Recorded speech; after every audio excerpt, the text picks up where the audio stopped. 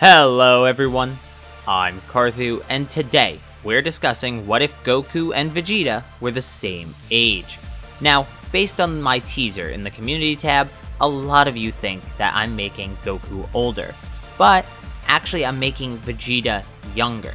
So, Vegeta, instead of being born in age 732, is born in age 737, which is two or three years before the destruction of planet Vegeta.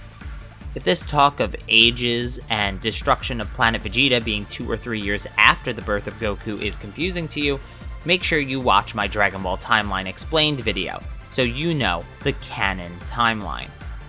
So, with that being said, our story starts on planet Vegeta, and let's get into it.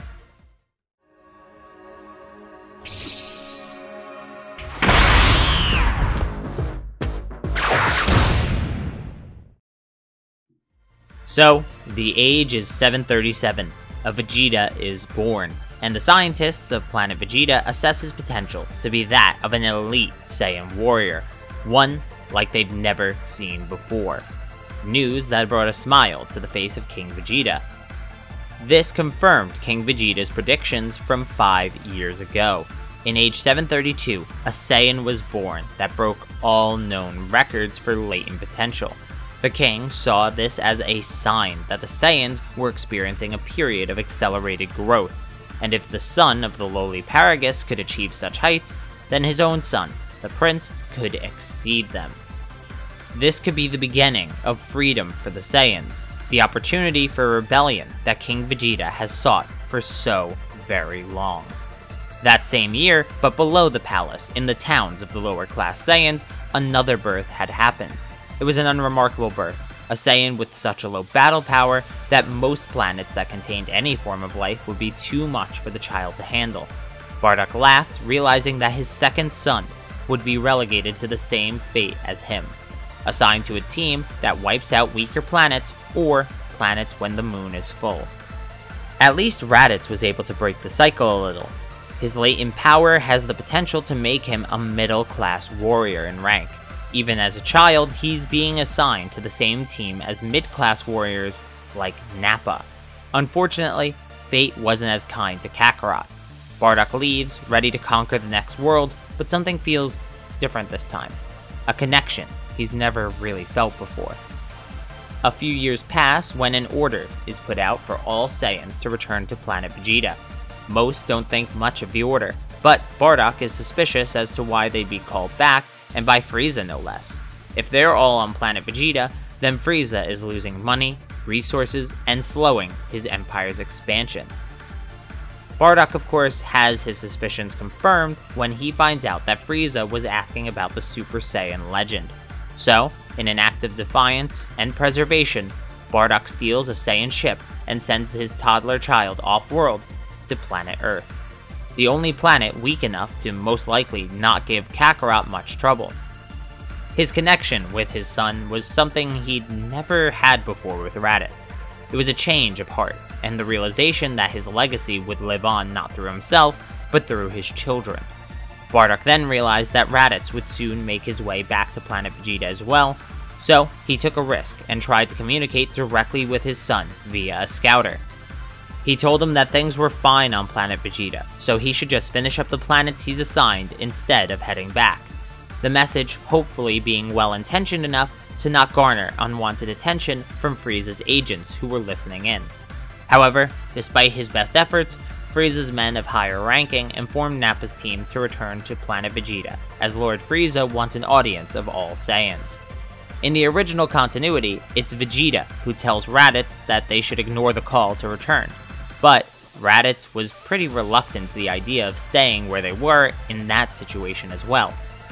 So as if the imminent threat of Frieza couldn't be any worse, Raditz and Nappa are now on planet Vegeta as well. At the same time, up on the top of the cliffs of planet Vegeta and in the castle of the royal family, King Vegeta is questioning why Frieza wishes to have all the Saiyans in one place at once as well. None of it makes sense to him, so he needs to consult his royal advisor, Paragus. You see, Paragus piggybacked off the success of his son. Just over 7 years old, Broly has grown into a fine warrior, and under the guidance of Paragus, has won many planets almost entirely single-handedly. Due to Paragus's exceptional skills in raising a boy with immense latent potential, King Vegeta made him an advisor, so that when his own son comes of age, Paragus can train him as well. But that day is not today. More pressing issues arose as the confusion surrounding the Frieza situation was only increasing due to the silence coming from Frieza's end. Paragus had only one suggestion, a private meeting with Lord Frieza to discuss what is happening, perhaps even indulge his ego a little bit by asking how the Saiyans could better serve him. King Vegeta hated the idea of inflating that maniac's ego any more than it already was, but he was left with no choice. The safety of his kingdom, of his race, and of his son counted on him to handle the situation as tactfully as possible. Since he's the king of the Saiyans, Vegeta has special access to Frieza's ship. Paragus joined him in this meeting and Broly was brought along as well. Paragus explained that Broly may one day serve as advisor to King Vegeta IV, and seeing how an advisor must act in meetings would be great experience for him.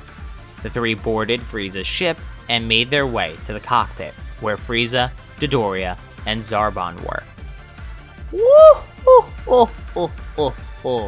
Now isn't this a pleasant surprise?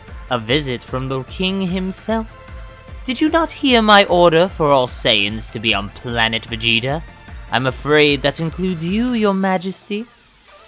The three Saiyans kneel to Frieza, and King Vegeta apologizes for disobeying his orders, as he only sought to know the reason for the gathering. You wish to know my reasons? They are as simple as this. Zarbon, use your scouter on the three of them. Zarbon scans them and reports King Vegeta's power level as exceeding 10,000, Paragus as being in the 4,000s, and Broly being well over 12,000. As you can see, your younger generations are getting quite strong, and I'd hate to see them try some kind of foolish rebellion against me. So, I figure I'll eliminate that issue. Preemptively. With that, Frieza fires a death beam straight through the chest of Broly, killing him instantly. Paragus is in shock, but King Vegeta quickly realizes that they need to leave now so he grabs Paragus and flies towards the docking bay, where they landed their ship. Frieza laughs and tells Zarbon and Dodoria to pursue them. The king is flying at full speed, but is stopped short by Dodoria in front of him. In a panic, King Vegeta turns around, only to see Zarbon blocking his escape. The king unleashes all of his power.